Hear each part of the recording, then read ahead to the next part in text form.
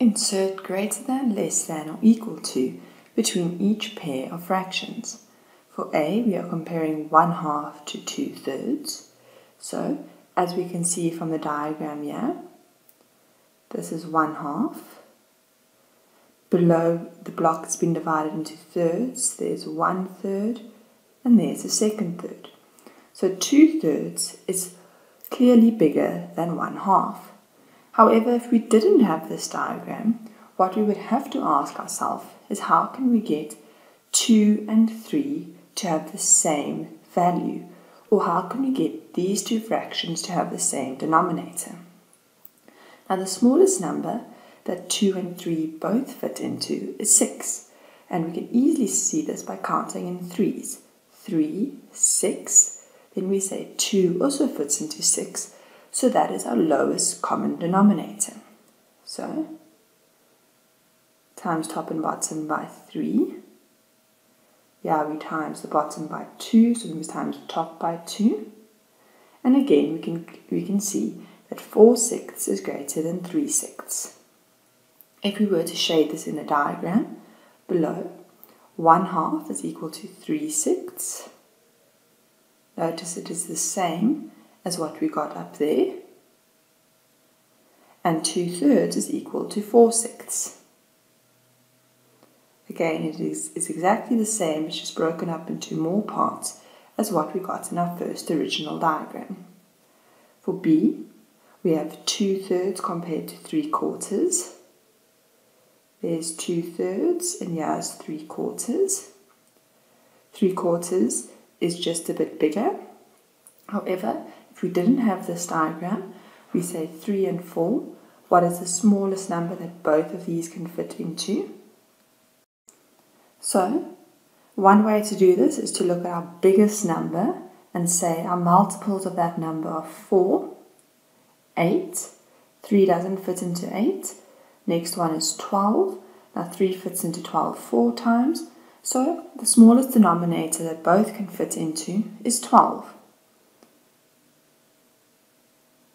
Times 3 by 4, so we times 2 by 4. Times the bottom by 3, so we times the top by 3. So yeah, again we get the answer that 9 twelfths, or 3 quarters, is bigger.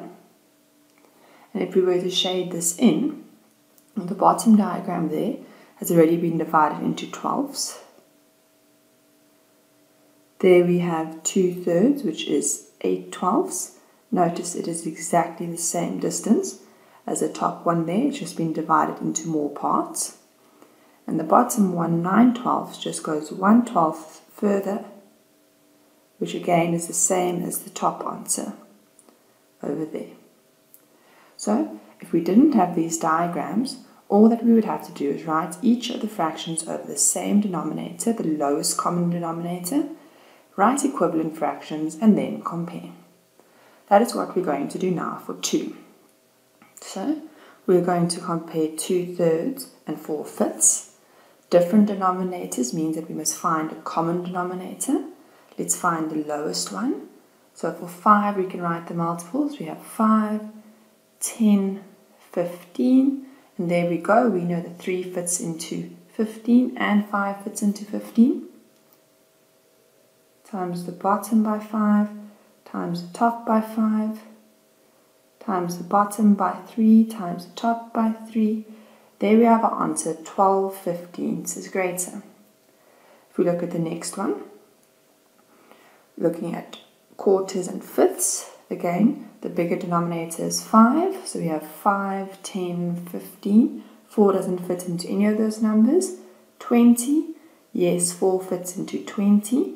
So, so we're going to write both fractions over 20 times by 5 times by 5, or 15 twentieths, times by 4 times by 4, so we've got 16 twentieths, which is the bigger one. Now we have 7 and 4 as denominators. So I'm going to look at the bigger denominator 7 and write out. What 7. Then we have our next number which is 14. 4 doesn't fit into that. Then 21. 4 doesn't fit into that. Then 28. Yes, 4 does fit into that. 7 times. So times by 4 times by 4. Yeah, we have times by 7 times by 7.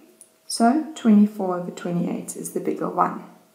Now do you notice that for each one of these, 3 times 5 gives 15, 4 times 5 is 20, and 7 times 8 is 28. So the lowest common denominator is actually the denominators multiplied with one another.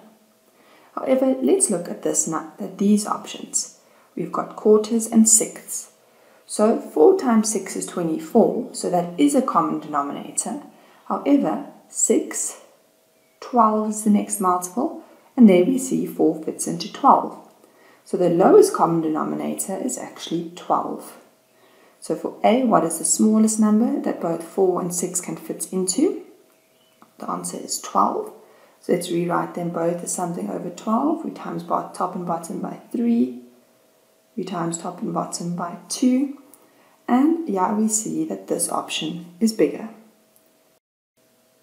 Let's move on to 4. Now our denominators are 6 and 9. Now 6 times 9 is 54. But let's see if we can get a smaller denominator that they both can fit into. Our multiples of 9 are 9 18, and there we go on the very second one. 6 fits into 18 three times. So our lowest common denominator between 6 and 9 is 18 and not 54. And that actually makes our calculations a lot easier. We rewrite this as 18, we times by 3, we times by 3. We write this as 18, we double the bottom and we double the top. And 5 sixths is greater. For 5, our last question for this topic, insert greater than, less than or equal to between each pair of fractions. So we're comparing 6 and 8. We have to find the lowest common denominator. So we let's use 8 because it's our biggest number. 8, 16, 24, and there we have it. 6 fits into 24 exactly 4 times, so that's our lowest common denominator times by 4 times by 4 times by 3 times by 3. So 7 over 8 is greater. If we look at B, we're going to use 12. We have 12, then we get 24, then we get 36, and 9 fits into 36 exactly 4 times. So 36 is our lowest common denominator, times by 3 times by 3. we times by 4 and we times by 4. So 7 over 12 is greater. For C, we're going to use 10. So we say 10 and then 20, and there we have it. 20 is the lowest common denominator because 4 fits into 25 times, so we times top and bottom by 5. Yeah, we simply double. And 3 quarters is greater.